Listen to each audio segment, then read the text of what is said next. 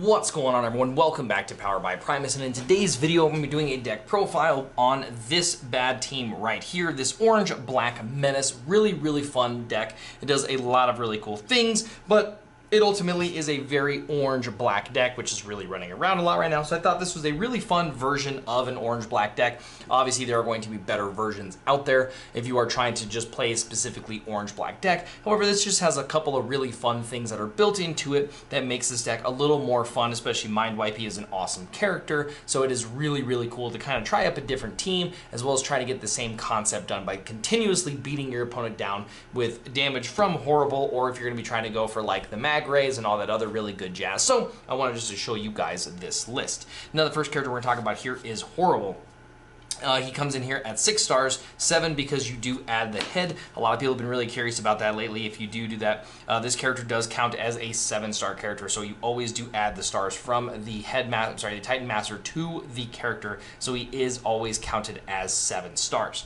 Now he's going to have three attack, nine health, and two defense coming across the table, and then it says when you flip to this mode, you get to move one damage counter from this to an enemy, and how we're going to be able to get damage counters onto him is obviously by being attacked and then um, doing his ability here. He does switch over to 4-1 when going into this mode and melee, which is going to be relevant. I believe he's melee in both modes.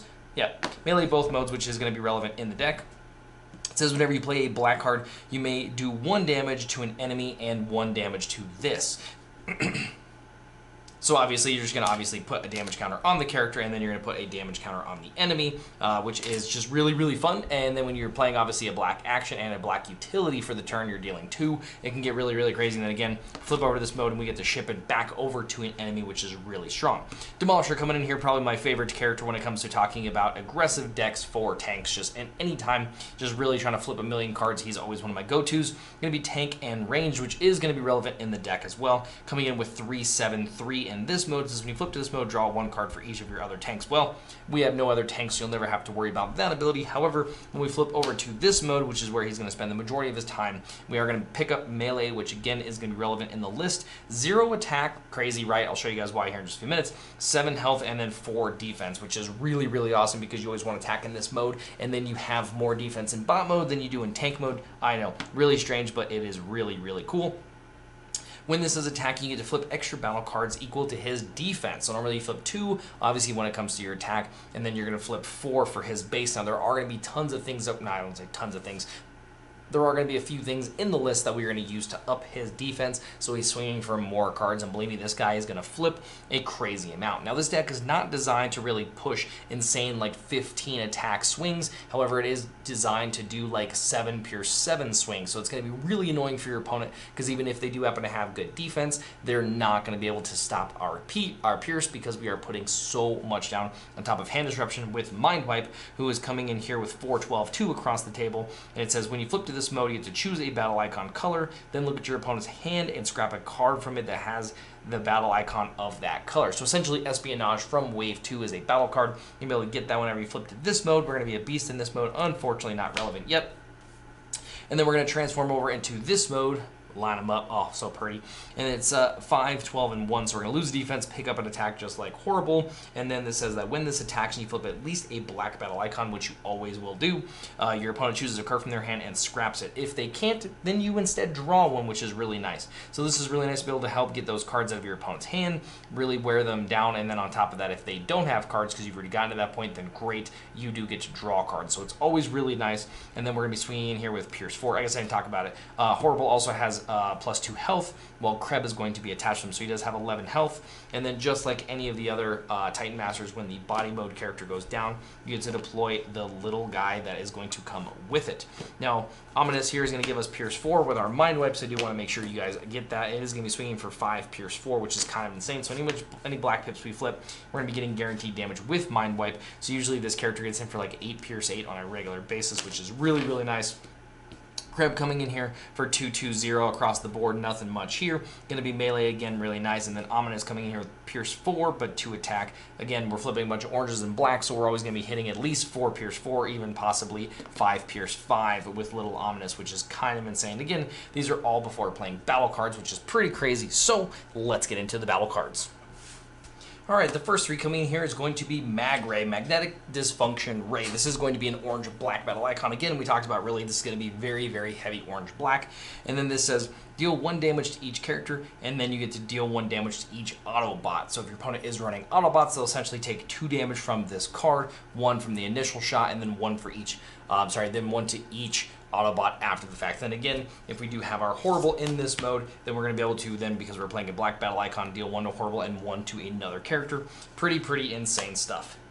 The next three coming in here is going to be wedge formation, which is why we were talking about melee and range being a thing. It's because of wedge formation. First off, this is an orange, black, and a green battle icon card, so it's going to be able to feed us all those really good jazz again with the orange blacks, and then the green so we can fish it after combats. And then this says repair one damage for one of your melee characters, sweet. And then if you have a ranged character on the battlefield, draw a card. Again, we only have ranged on Demolisher when he is going to be in tank mode, um, so it's sometimes I flipped him to be able to pick up to draw a card if you're in a desperate situation. However, it's mainly used so we can just get the battle icons plus repair one from a melee character.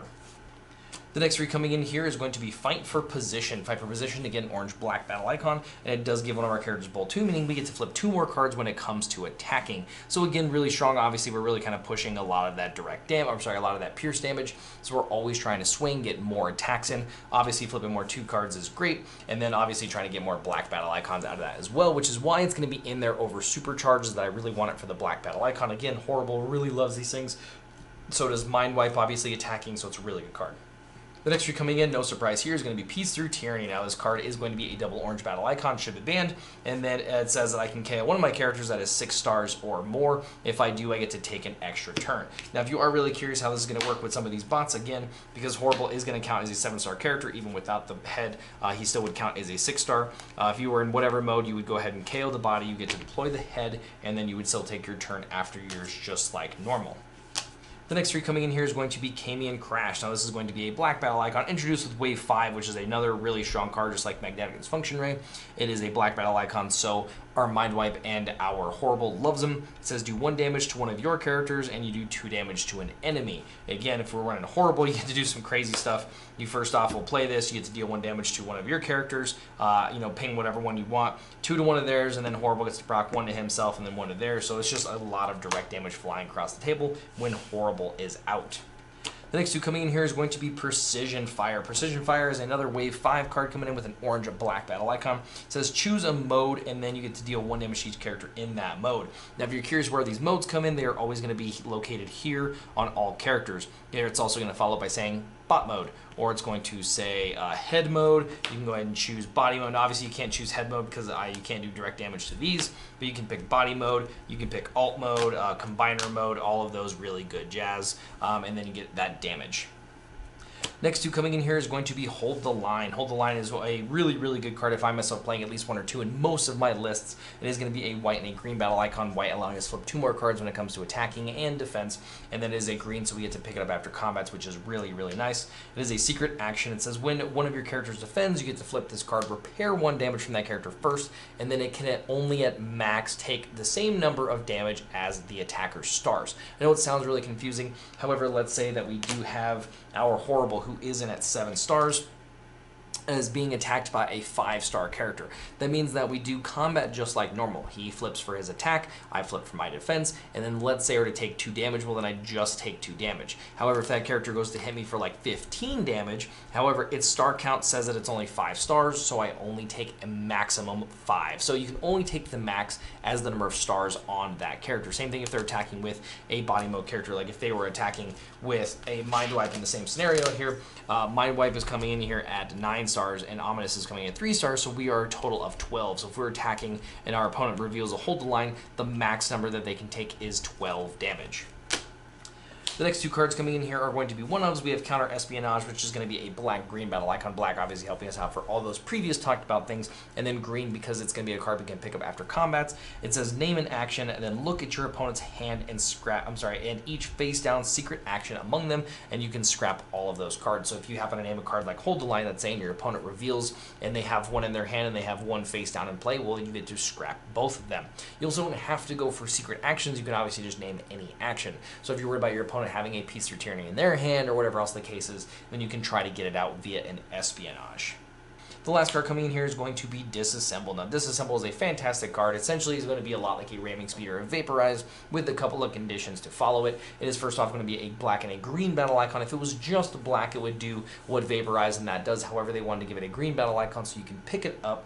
And with that, it says scrap an enemy. I'm sorry, scrap any weapon or armor. Its owner draws one card. So that means you can also target your own character if you wish. You really need to see that character. You're trying to get rid of a bashing shield or enforcement baton from your character so you can shuffle it back in. Whatever the case is, you can also scrap it from any enemy, obviously, and then whoever uh, does have to scrap that upgrade or weapon does get to draw a card. So essentially, it'll cycle itself out. Now getting into the upgrades, the first one that I have a lot of fun with in this list is actually Crystal of Power. This is one card that I really, really love playing with Demolisher, which we'll talk about here in just a second. First off, it is a black battle icon card. It is a weapon and an armor. So you uh, must have an open weapon and armor slot. If you do have a weapon and you try to play this in your armor slot, that's fine, but it does replace your weapon. This does take up both slots on a character at all time.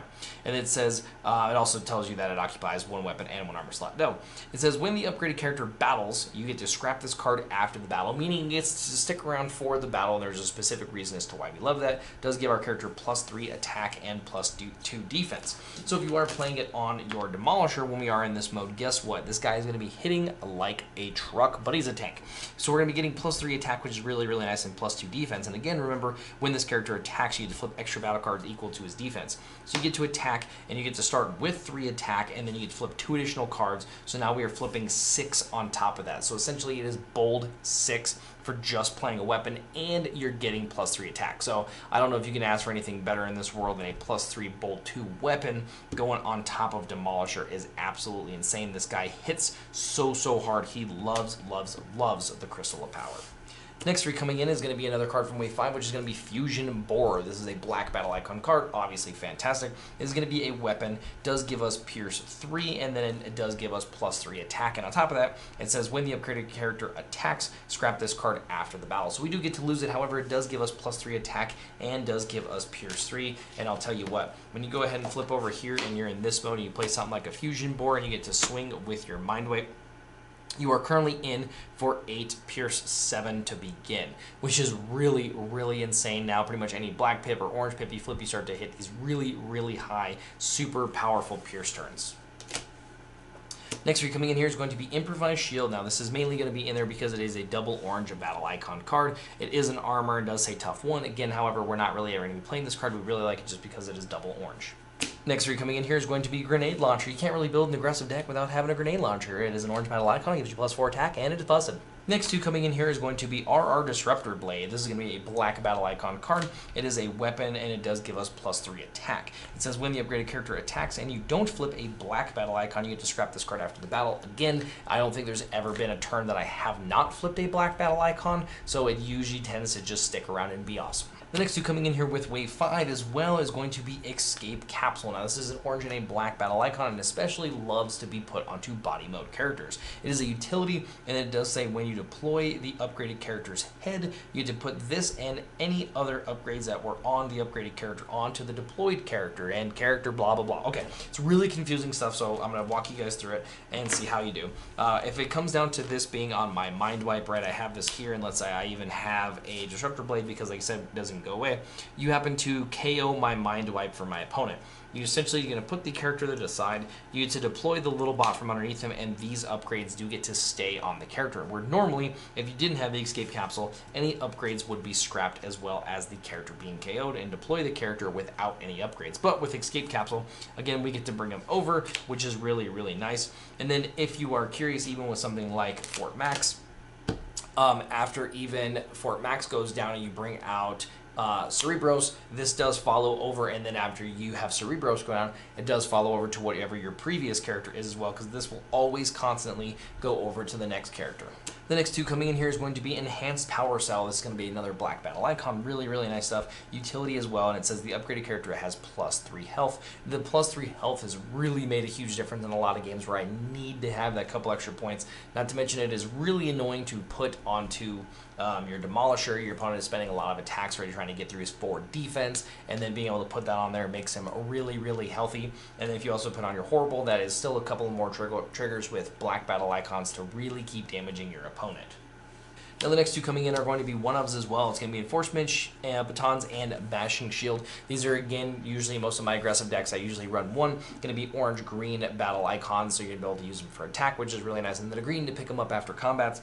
Uh, the weapon is going to be able to let you put this on a character and scrap an enemy weapon, plus one attack. And then the armor is going to do the same thing, but for the armor slot. So you put on a character, you get to scrap an enemy armor, and then you get plus one defense.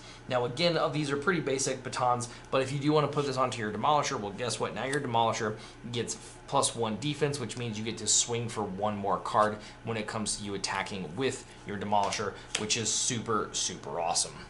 Now, one thing I tend to do is obviously shuffle up my deck and then go ahead and show you guys a quick little dry run to see how it does perform. I am going to have to kind of um, do a different shuffle on this because obviously we just had all those cards uh, separated out. So uh, this is just, I said, a really fun deck, just a super aggressive deck. If you're not wanting to play something like Sky Shadow and you just want to mess around with something that's orange-black and maybe play Horri-bul, and again, like I said, something that's just a little more fun, it is definitely still a very strong deck because you're hitting for so much Pierce and doing so much direct damage. It is very hard for your opponent to keep up unless they are also playing something that is pretty aggressive. Um, this thing does kind of really chew blue decks apart just because, again, like you guys saw, uh, we're trying to get in Mindwipe here for insane Pierce numbers. So you really get to kind of beat your opponent in the long game if they are on blue for sure. And if you're playing up against an or another orange deck, well then it's just a race to kind of see how things um, you know all turn out. So that is going to be our shuffle. Let's get God, that was terrible. A little cut, we'll put that on the bottom because it really won't matter. Um, I usually try to even possibly go second if you're going to be going against this, just because sometimes we really want to play a card on Demolisher. However, if we get to go first, it's not a big deal. So let's assume that we do get to go first. We'll draw our cards here. And we have a pretty nice hand again. Being able to go second here would be pretty nice to be able to put Fusion Bore on one of our characters. But we're going to transform Demolisher and we're going to send him in first just because we want to see the kind of damage he's going to do. And then one, two, three, four, and then two for the white. So we're actually only going to be getting in here for four Pierce four. It's really not that bad to be honest with you to start off things. Uh, I wish that we would have had uh, five Pierce five. We do have one, two, three, four, five black battle icons, but we only have four orange battle icons. Again, really, really nice. And then here we did flip a couple of green battle icons. I'd probably pick up Hold the Line, so we'll chuck this Improvise Shield that doesn't do much for us get out of here. Uh, pretty good stuff, and obviously us trying to defend here, we'd probably take a couple points of damage. Uh, let's say our opponent, you know, managed to even put like three down on him. Cool, cool. We're gonna draw a card. Looks really, really good. We can already see that we have a really good action here and a really good upgrade. If it's a character that we want to swing Mindwipe into, it'll be really, really nice. If not, we'll transform Horri-bul here, and then I would probably go for something like, let's put an Escape Capsule here because we're going to try to really make sure we get a big hit with our Mindwipe.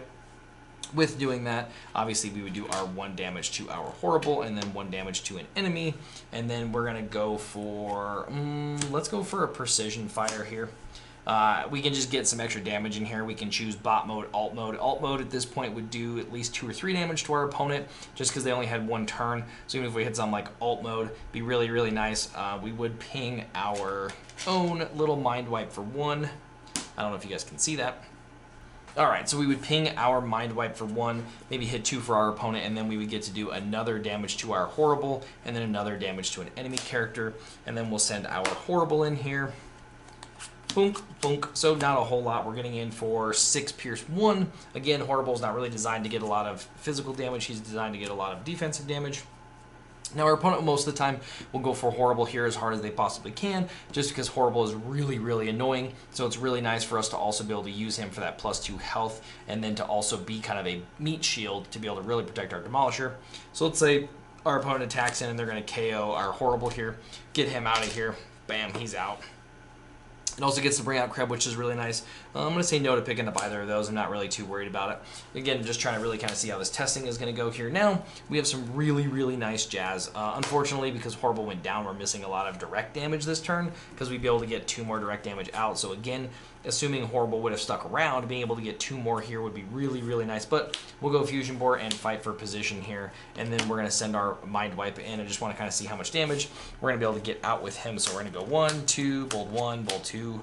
Uh, really not that much as far as for Pierce goes, but we're in for 5, 6, 7, 8, 9, 10, 11, 12, 13, 14, 15, Pierce 4, 7, 8. So really, really strong. I wish we saw a few more blacks here, but 15 Pierce 8 is a ridiculously good turn for just playing an action and an upgrade for the turn. So even if your opponent is rocking something that is heavy blue, being able to take Pierce 8 is super, super solid, which is really, really nice stuff. And then again, our opponent would kind of go back with however they wanted. You know, most likely probably go into our Demolisher here, but even if they hit our Mindwipe, we also also uh, did flip a one black when it came to his ability, so uh, our opponent would have to scrap a card, which is really, really nice. They get to hit into someone, and then we still have Kreb who gets to go, which is really, really nice. Uh, we would get to draw and just kind of see what gets up. I guess we would have flipped two for defense. Don't let me cheat and then draw for turn. Again, a really good draw. I mean, to sit there and get to put that down. And let's go for secret action. Let's see kind of what happens since we're already in the mood. Boom, boom, boom. So we're in for two, five, seven, Pierce five. And for a one-star character, I'd say that is pretty good. So you guys get just get to see that this thing does get to put out some pretty insane Pierce turns. Even these little guys just get in for so much damage. It is pretty, pretty insane. And again, a really fun deck because you're like essentially a five wide. Um, for a lot of people who don't know what that reference means, it means it's just how many characters we have across our side of our table. And it's just because we may only start with three characters. Once Horri-bul goes down, it deploys a fourth character. And then once Mindwipe goes down, deploys a fifth character. So we are a five wide team. Being an aggressive deck is really, really strong. We have a lot of health across this, and then we do so much damage. It's really hard for our opponent to play keep up with us. I really hope that you guys did enjoy this deck profile video on these characters. Let me know down in the comment section below if you guys are having fun with any other type of orange-black other than Sky Shadow. I'd be really interested to see your guys' list. And if you guys plan on sleeving this up, let me know as well, because I really hope that you guys do try it out. I'll catch you guys in the next one.